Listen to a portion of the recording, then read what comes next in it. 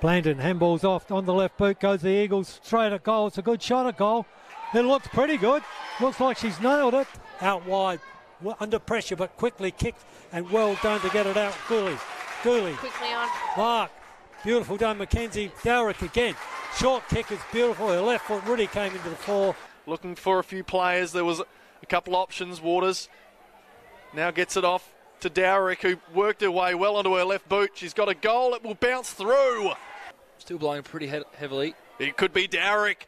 She sends it in between the big sticks. That desperation on show. Well, they they're able to get a, a help ball here, and uh, you got Dowrick here, just rolling around on the left and nails it.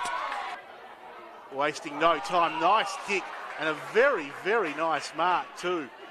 They push it inside 50 again. Dowrick too tall and strong at the moment for Cox. Dowrick gets onto that left boot. Nice pass. Mark at the top of the goal square from Hickey.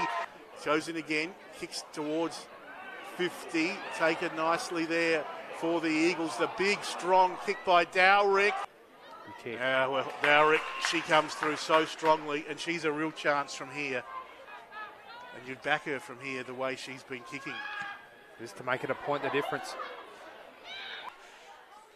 Through the hands, no. Dowrick takes it strongly. One, two touches onto a left boot, her preferred. Kick. Beautiful kick right to the spot. She also needs to find a target. There's long, big back at Yes. the back, taking the mark was Dowrick. Siren goes to end half time. Dowrick. Pretty crucial kick this one. Umpire doesn't do too much. They're batting a thousand. Why wouldn't they be? Dowrick off the left. Thumps another one long. Well, they just can't miss.